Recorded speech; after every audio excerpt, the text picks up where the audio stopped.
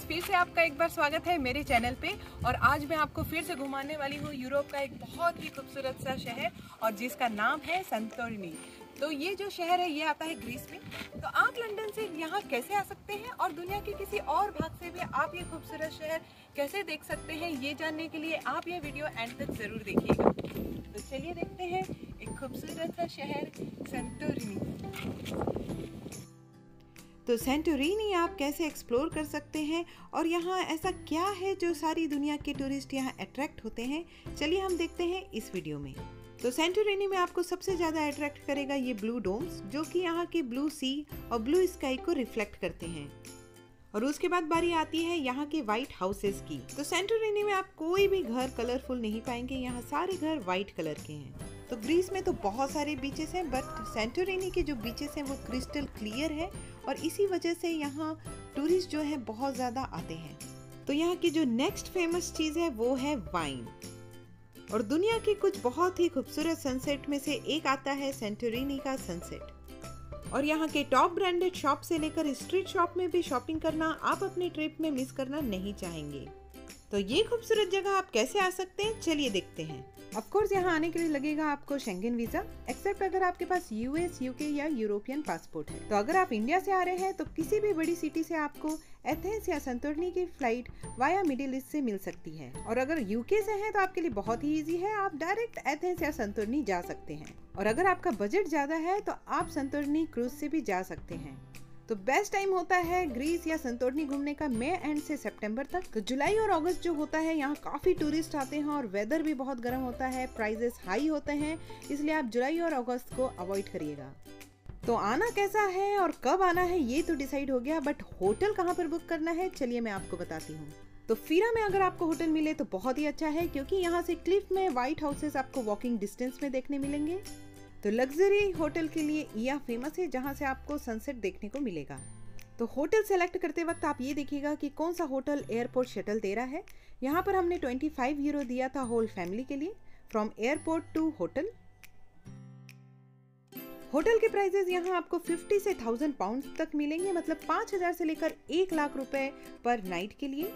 Hotel की price depend करता है कि आप किस सीज़न में जा रहे हैं और कितना एडवांस में आपने होटल बुक किया है। एंड ऑफ़ कोर्स अगर आप समर में जा रहे हैं तो ऐसा रूम चूज़ करिएगा जहाँ पर एसी हो। तो हम कहाँ रुके थे? इस होटल का लिंक आपको डिस्क्रिप्शन बॉक्स में मिल जाएगा। और अब बारी आती है संतोरनी घूमना कैसे है? तो यहाँ बहुत सारे आपको लोकल डीलर्स मिलेंगे जो आपको किसी भी कंट्री के टू व्हीलर लाइसेंस पे टू व्हीलर दे सकते हैं। तो यहाँ बाइक जो है आपको 25 यूरोज एंड एटीवी आपको 35 यूरोज में मिल जाएगी। और यहाँ जो ड्राइविंग है, वो राइट हैंड साइड की होती है। अच्छा कार हायर करने के लिए आपके पास इंटरनेशनल ड्राइविंग लाइसेंस या फिर यूरोप या यूके का ड्राइविंग लाइसेंस होना चाहिए। रेट स्टार्ट होता है 45 यूरो से।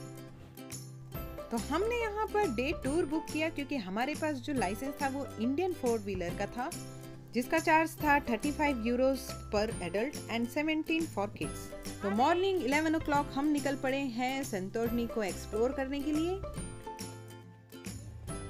अगर आप कैब से जा रहे हैं टूर से जा रहे हैं तो मैं आपको बोलूँगी कि आप उसके राइट साइड में बैठिएगा क्योंकि आपको उससे बहुत ही अच्छे संतोरनी के व्यूज़ देखने को मिलेंगे। The first one is right, it's called It's located close to the port. The second active volcano located from us, other side of the island. It's under the... तो हम पहुँच चुके हैं अपने फ़र्स्ट डेस्टिनेशन में और जो थी मोनेस्ट्री और यहाँ से आपको संतोरनी एयरपोर्ट और पूरी सिटी देखने को मिलेगी। तो मेरे आने वाले हर वीडियो की नोटिफिकेशन सबसे पहले आपको मिले, उसके लिए आप मेरे चैनल को सब्सक्राइब करना और बेल आइकन को प्रेस करना बिल्कुल भी ना भूलें। तो ये जो मोनेस्ट्री है, ये आइलैंड के सबसे हाईएस्ट पॉइंट पे है। तकरीबन ये 567 मीटर ऊपर है सी लेवल से। तो ये जो मोनेस्ट्री है, ये 18 सेंचुरी में बनाया गया था। और क्योंकि ये आइलैंड के सबसे टॉप पर है, हाईएस्ट पॉइंट पे है, इस वजह से आपको पूरा आइलैंड यहाँ से देखने को मिलेगा। और जो सीनरीज है, ये बहुत ही ज़्यादा खूबसूरत है। Hello Aditya.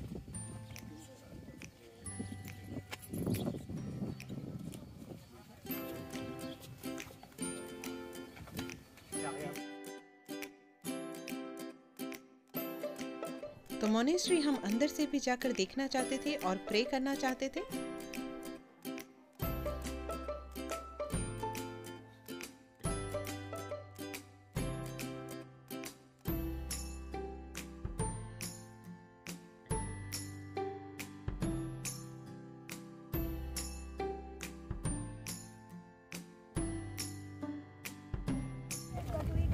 Wine. Yeah, we can't drink wine here. This is our second stop, winery. You want to? Want to drink wine? Coffee. Coffee? Okay, let's see.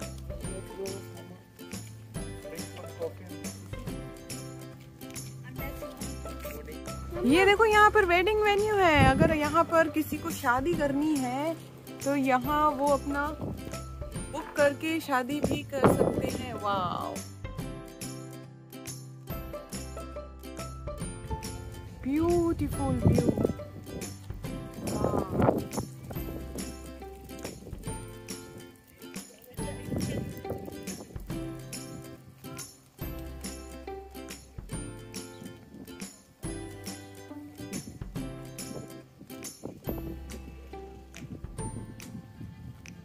Winery नहीं जा सकते हैं, बोल रहे हैं।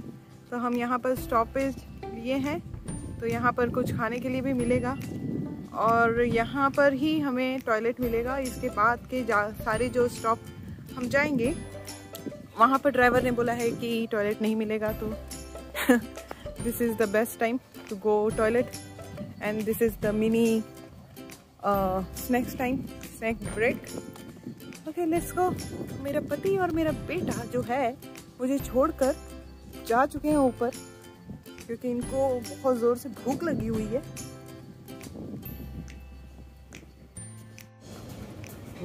Very nice restaurant so beautiful is it Adi hot hot ouch ouch हा हा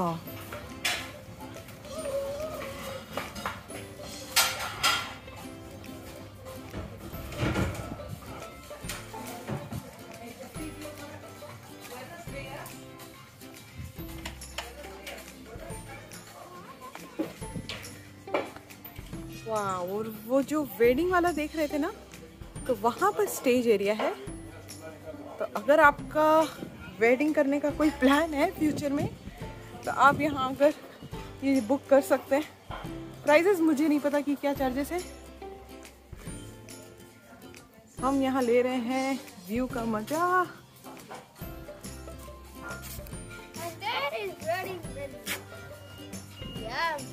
सम क्रूज भी है। तो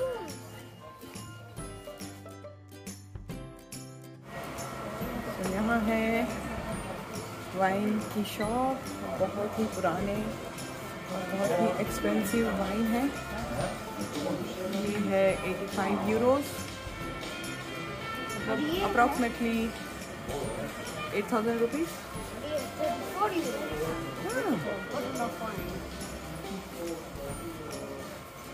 Yeah, 40 euros. तो जो वाइन के शौकीन हैं उनके लिए ये बहुत ही अच्छी जगह है।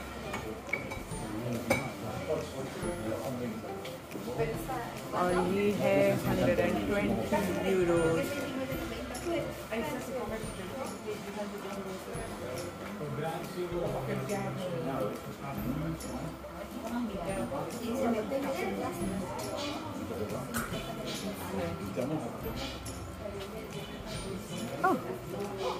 ये तुअर दाल है क्या पावा मुझे लगा वाइन के शॉप में तुअर दाल क्या उतर रहा है छोटे छोटे बॉटल्स भी हैं four point nine euro It's a chocolate. Candy chocolate.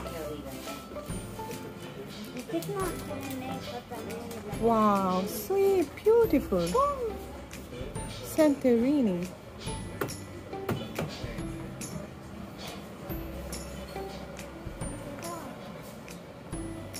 Oh.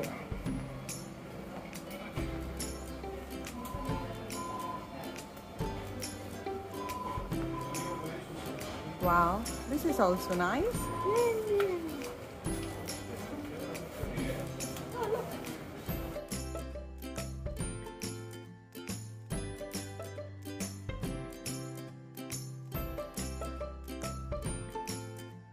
और गर्मी बहुत थी, इसलिए हमने आइसक्रीम और जूस का मज़ा लिया।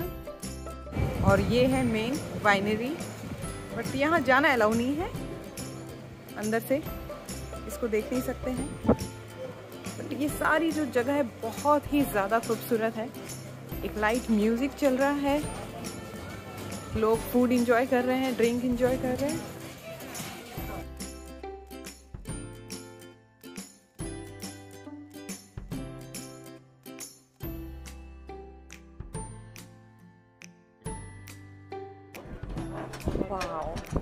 ये ब्यूटीफुल सीनरी देखने के बाद अब हम जा रहे हैं हमारे नेक्स्ट स्टॉप में!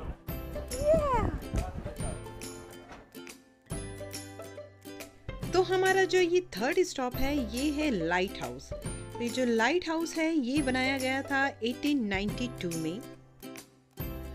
तो ये जो लाइट हाउस है, इसे वर्ल्ड वॉर टू के बाद ऑपरेट करना बंद कर दिया गया।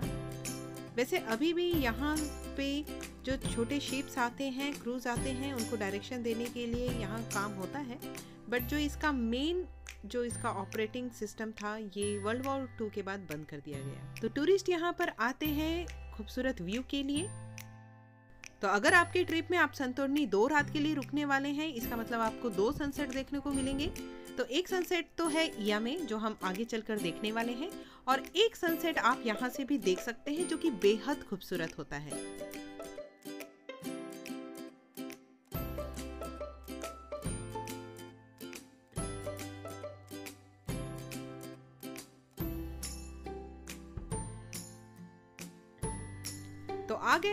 अपने फोर्थ स्टॉपेज में और जिसका नाम है रेड सैंड बीच।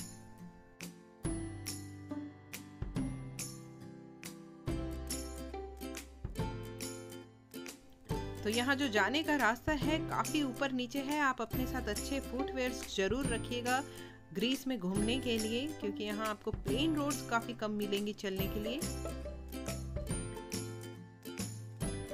इस बीच के जो सैंड है, ये रेड है, इस वजह से इसका नाम रेड सैंड बीच है ऑफ़ कोर्स और ये जो है, ये ब्लैक और रेड वॉल्केनिक रॉक से बना हुआ है। तो टूर वाले ने हमें यहाँ जाकर स्विम करना अलाउ नहीं किया, क्योंकि यहाँ के जो ये क्लिफ है, ये कभी भी गिर सकते हैं। यहाँ बहुत कम लोग स्विम कर रहे हैं। अगर आप प्राइवेट अपने कार या एटीवी बाइक से आ रहे हैं तो यहाँ आप ये जो छोटे छोटे बोट्स दिख रहे हैं, ये बुक करके यहाँ स्विम कर सकते हैं। और यहाँ से काफ़ी पैकेजेस होते हैं जो आपको ब्लैक सैंड बीच पे और आइलैंड के काफ़ी हिस्सों पर लेके जा सकते हैं। तो ऑनलाइन आप वो चीज़ चेक कर सकते हैं। तो आ गए हैं हम फाइनली ब्लैक सैंड बीच हाँ और यहाँ से जाना है हमें बीच और आदि बहुत एक्साइटेड है बीच में नहाने के लिए। Correct Aditya?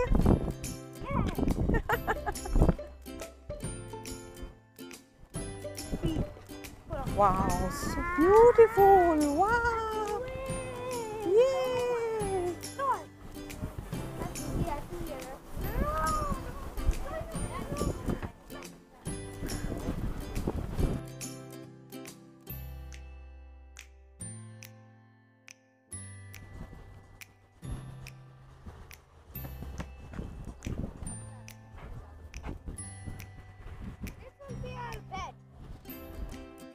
beautiful beach.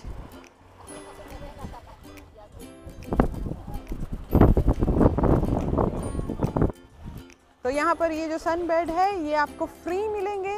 Shower भी यहाँ पर फ्री है बट आपको रेस्टोरेंट से कुछ खाना ऑर्डर करना पड़ेगा। तभी आपको ये जगह जो है, वो फ्री मिलेगी।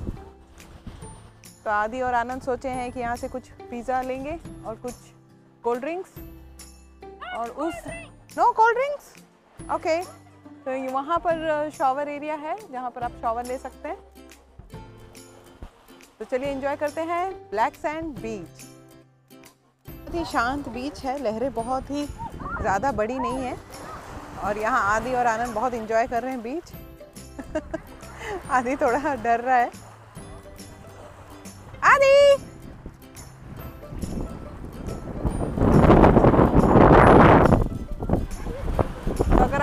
शाम में आए रात में तो यहाँ बहुत पार्टीज़ चलती रहती है।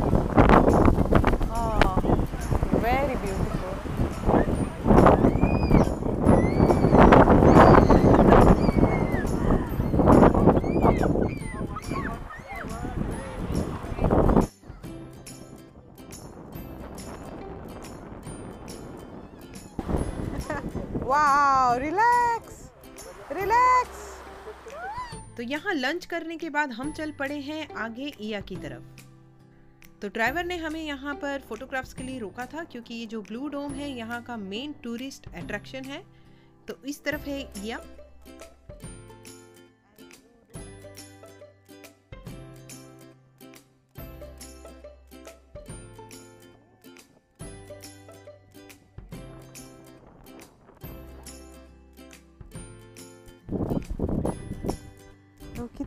ब्यूटीफुल है ये वाइट हाउसेस आपको पता है ग्रीस का जो फ्लैग है, वो ब्लू और वाइट है. इसी वजह से यहाँ पे ये सारे घर हैं. इस तरीके से बनाए गए हैं. और ये मेरा आदि है.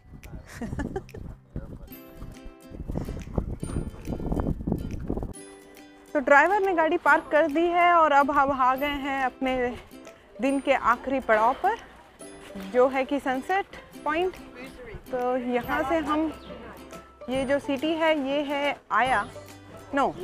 ईया। सॉरी ईया।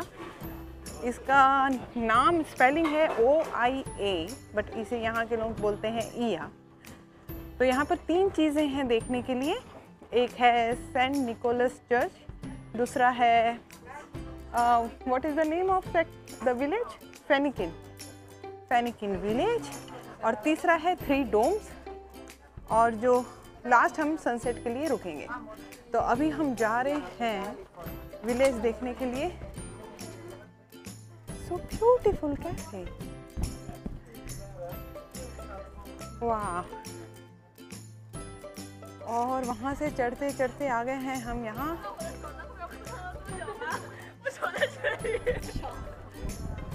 और यहाँ से पूरा बहुत ही सुंदर व्यू है। अगर आपको यहाँ स्टनिंग फोटोग्राफ्स खिंचवाने हैं तो आप वाइट या फिर ब्लू कलर का ड्रेस पहन के ज़रूर आइएगा। मोस्टली लोगों को आप यहाँ देखेंगे तो वाइट और ब्लू कलर की ड्रेस में ही देखेंगे। और ये चर्च है बता रहे हैं यहाँ के एक गाइड तो यहाँ बहुत सारे टूरिस्ट हैं और थोड़ा कंफ्यूजिंग है कि कहाँ पर क्या है।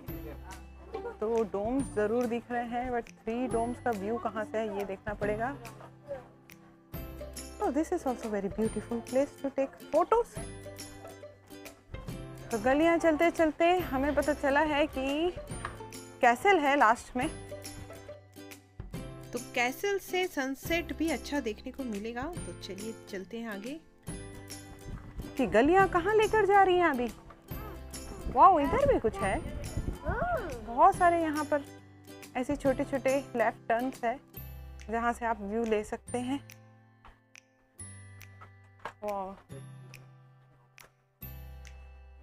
आदि डोंट टच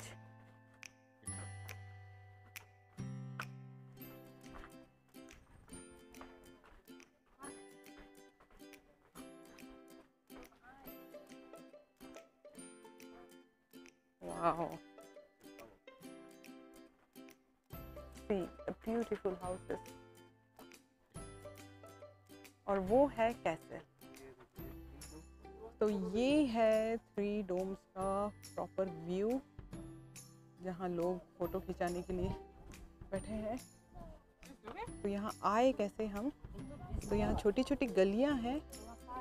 जाते वक्त मैं आपको बताऊँगी और उसके सामने से आप फोटोग्राफ्स ले सकते हैं। तो ये गली से। थैंक यू ये गली से। वैसे यहाँ हर गली सेम दिखेगी आपको। बट ये गली से इसका व्यू अच्छा था। थ्री एलिमेंट्स के सामने। ये एक ज्वेलरी शॉप है। इस गली से हम गए थे फ़ोटोज़ के लिए। तो आगे आते जाएँगे तो आपको मिलेगा लेफ़्ट साइड से ये जो रास्ता जा रहा है ये जा रहा है कैसल के लिए और यहाँ से जो स्ट्रेट रास्ता जा रहा है वो जा रहा है विंड मिल के लिए।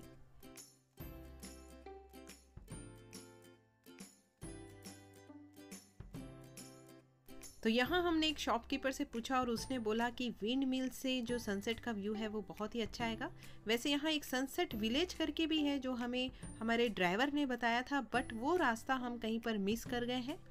तो हम अब डायरेक्टली जा रहे हैं विंड मिल की तरफ़।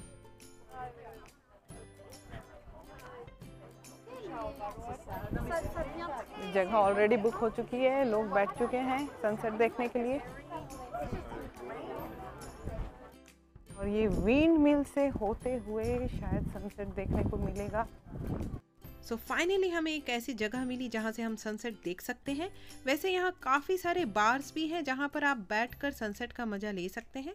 आपको ड्रिंक्स खरीदनी पड़ेगी।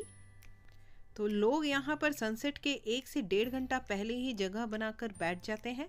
आप सनसेट होने का वेट मत करिएगा, नहीं तो आपको यहाँ कोई जगह बैठ के देखने को नहीं मिलेगी।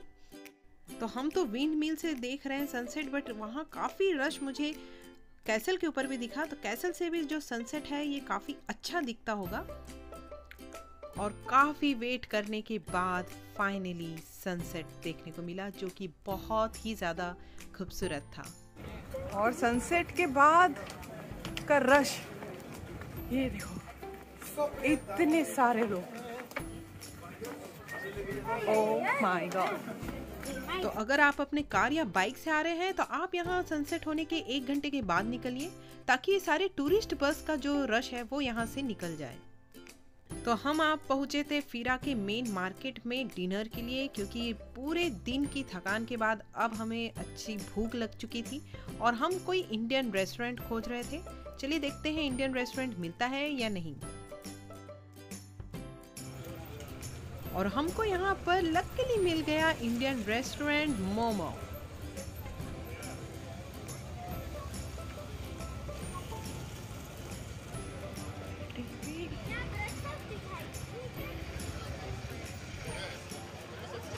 तो जो खाना था वो काफ़ी अच्छा था और जो रेट्स थे वो भी बहुत ज़्यादा महँगे और बहुत ज़्यादा सस्ते भी नहीं थे। कुछ कुछ यूके जितने ही थे।